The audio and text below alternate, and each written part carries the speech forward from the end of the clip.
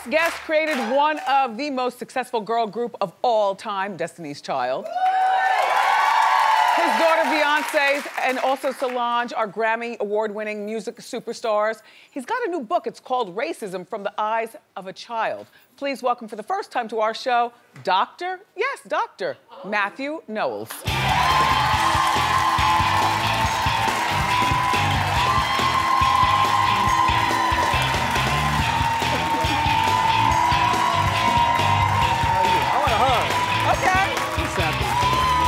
Up, man? Yeah. All right. I like a hug. Have a seat. Thank no, you. Yeah, yeah, sit there. All right. Yes. Um, Hello. Hello. It's about time. I know. You know, you don't remember 1998 in Miami, okay. and the girls were there. And they were just kind of breaking, and you were getting interviews. And I remember our publicist say, "You know, that young lady is wanting to get an interview, and nobody will allow her to get interviews." I don't know if you remember this. Oh yes, it's, uh, it's tough being Wendy. Yeah. Yeah. And, and I Sometimes said, people get Certainly, scared. we're going to give her an interview. And I, I don't know if you remember this. I said, Wendy, one day I'm going to ask you for a favor. And here I am. Oh, see, see. So, I want to give you some Mathew Knowles shoe cam. You put your feet on those feet and model them right there. You know, Mathew, I have to say, in person, you are everything I thought you'd be. A cat daddy, right? You're a nice-looking man. Well, thank you. Yeah. So um, Beyonce and Solange are musical superstars. Are you? Can I get comfortable? Yes. I've got long legs. I don't know if Me this gonna too. No, work. go If I- ahead. If I, do yeah. yeah, see there? Don't That's crunch the family jewels. Just That's all right. I'll just sit like this. okay, okay. Uh, they're musical superstars, though. Everybody's excited. Are you in awe of your girls when you sit back? uh, You know, are you in awe? Well, you know, for years I played a dual role as manager and as father. Yes. Uh, today, I play the role, I don't play the role, I actually live the role 100% as their father. nice. And I'm extremely proud of them. Yes. Not, not what, just what they've done professionally, but how they've lived their life off the stage and They- been role models. Very, for, very quiet, very private, never anything seedy. But you're the same man who taught Beyonce and the girls how to run in heels. It's kinda difficult, isn't it? Brilliant, brilliant. And and all the things, all of the curtsying, all the you know, all the mannerisms, everything that it would take a young lady to blossom into becoming Beyonce. Did you know? Did you know while um, you went through several incarnations, Farrah and the other girls, you know, being in the, in the group, did you know that you would always want your daughter to be the breakout star? No, not really. Lies you tell. No, no, no, no. Nope. No. You got to remember that we, I actually came up with this strategy. Okay. That the last three albums, and the, the ladies bought into it, obviously they had to buy into it, but the last three albums of Destiny's Child, each one of the ladies had solo projects. Uh -huh. So they had two. Uh, Michelle has had three number one albums, three consistent Bless her heart. number one albums. Good for her. And you can do no better than number one, yes, right? yes. In the gospel genre. In the gospel genre. Uh-huh. That's, that's her, And, her and belief. Kelly and, and Beyonce are still very close. They're extremely close. Kelly sold four or five million records outside of America because she's done quite well outside. It's the 20th anniversary of Destiny's Child ever being invented. The, their first album came out 20 years ago. I can't believe it's been that long. How, um, I can't either. I, I- I- right? Yeah. Um, do you think that they'll ever get back together? Well, I'm hopeful that they will. I, I, I, I think we all would like that, right? Okay. I'm gonna tell you when it's going to happen. You mark my words. It's not gonna happen at Coachella. You know, it's not gonna happen at Coachella. Save your time. It's going to happen when Beyonce and Jay Z are on the road. Because people really want to see Beyonce. A lot of people are eh regarding Jay Z. A lot of people also feel that they're all they're gonna get is the On the Run tour remixed and repackaged and, you know, for a lot of money for the tickets, Mathew. The only way they could really twist it and make it interesting, and you say, is to reunite Destiny's Child. Mark my words, that's all. I don't think so. You don't don't? think so. Do you talk to Beyonce about things like this? Well, no, I don't. Mm-hmm. I, I, we don't talk about that, but I still manage every day, work day, I have to do something licensed Destiny's Child music around the world or something.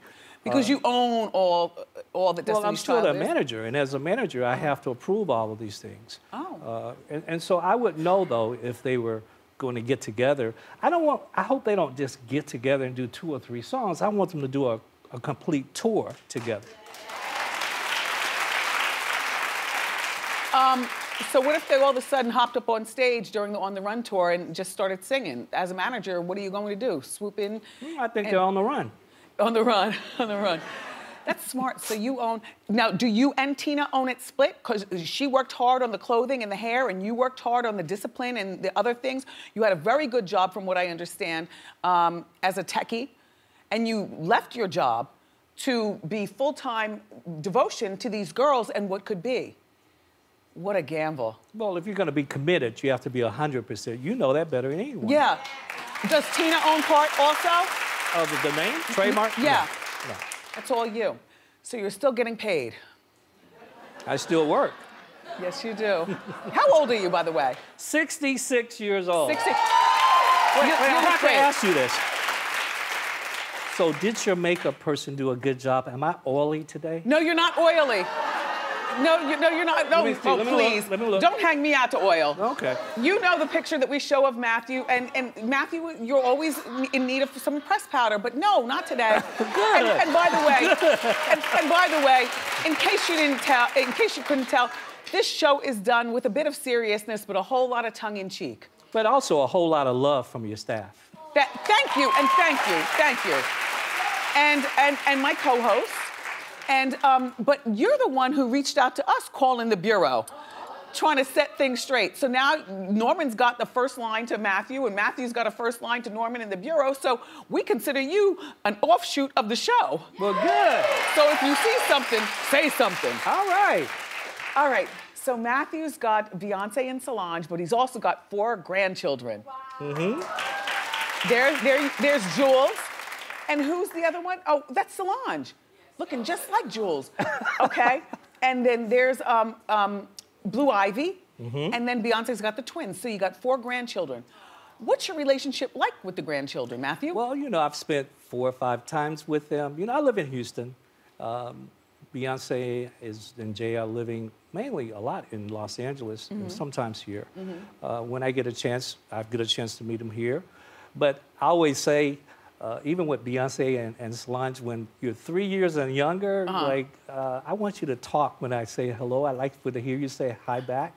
Uh, so, so I can't wait till they get to that age that uh, A we lot can of hang people out. do feel that way, but they're too embarrassed to admit it. I appreciate your honesty. So you have a better relationship with Jewel because Jewel does stuff. Well, Jules is a basketball. He's a b-baller. Uh-huh. and I played high school and college ball, and Mm-hmm. and I, we get to talk about basketball. He's a teenager, believe it or not. Now he's 13 years old. Really? And so he's going through the transition that 13-year-old boys go. Yeah. And I love to spend and will spend more time with him because uh, he's a great kid. Yeah, yeah.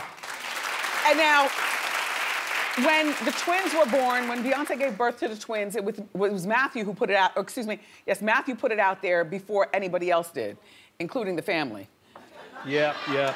Was she I, I- pissed? I, I have to say, I was. Uh, I, I, I'll never forget this. I was on my way to the airport. Uh-huh. I think it was one of those Saturday Good Morning shows, Uh-huh. and I uh, thought the, s- the scroll said Beyonce has announced, and I was just rushing. And when I got to the airport, Uh-huh. I just wanted to congratulate her because I thought she had told the world because. I knew, and a lot of people knew, and Uh-huh. close to the family. It was a mistake that I made. Uh, And I can own that. That was a, a mistake. I Oh. But your mistakes are our gain because we talked about it before she even announced it. Yeah, Thank well- you. You know, sometimes that happens. Sometimes that happens. It- look, Mathew, it does happen. Yeah. Um, Beyonce's a very, very private person, though. Uh, when you saw Beyonce, Solange, and Jay Z and, and the security in the elevator uh, thumping, what was your reaction to that? I, I have to tell you, I laughed so hard. I laughed so hard because, you know, if you know Solange, that's Solange. That's Solange. You just never know what you're gonna firecracker. get. Firecracker. Don't know where she get that from. Uh, but uh, you know, I, then Beyonce would be in the corner, quiet, just kind of like, when y'all finish, let me know. so I, I just laughed. Laughed. Next, we've got more with Mathew Knowles. Keep it here. We're back with Mathew Knowles. So Mathew, everybody, is married. Married. You've been married for a few years now, huh? Uh, most people don't even know I'm, I've been married. It'll be five years in a few months. Well, this is why you're here. It's Yeah. show business. So you got to show your business. No, you're five years now. Do you have children with your with your wife? no, no. Mm-hmm. Congratulations on the new book. I thought it would be something regarding Destiny's Child, but instead of writing that book, you wrote a book that's actually quite interesting. Racism from the Eyes of a Child. Tell us about the book and your humble beginnings in Alabama and what brought you here now. Yeah, well, you know, I grew up in Gadsden, Alabama. I was born in 1952 uh, in a little small town of 25,000 people in Gadsden. Um, it was a, a, a era of racism and segregation.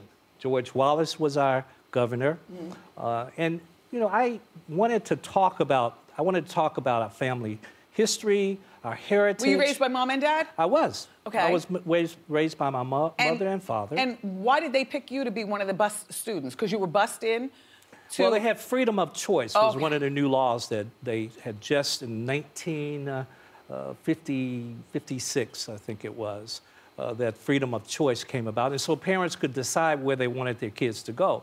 Uh, the unwritten rule was, okay, if you send your, your, your kid over to the white school, we're not going to protect you. Uh, did you get beat up? Yes, I did. Oh. I got a lot of demonstrations we did during that era. Uh, and I black- hear that you also went to uh, Uh, yeah, experience uh, some of majority at the time. Ocean Township High School was majority white, and Yeah. uh, you know I experienced things, but nothing like being hosed down. Yeah, I mean, it was tough. And the, in the, Yeah. we're talking in the early 60s. Yeah. Uh, it was very difficult. Uh, and as a result, I heard through the book that your own mother said to you, "Don't bring home any dark-skinned girls." She did. And, and that was it was wrong. the era of the time. It that was wrong, and but she did a lot of great things, but that one was wrong. And I internalized that as a kid. You know, what we hear as children, we sometimes internalize that, and it affects us in our adult life. And so then there you chose Tina. I chose Tina. Yeah.